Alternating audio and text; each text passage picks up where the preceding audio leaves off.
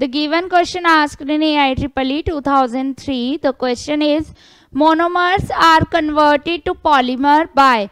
So in this process, uh, we know that monomers, small monomers unit are combined with to each other and form a polymer and large macromolecular unit. Okay, so co uh, condensation process is the correct because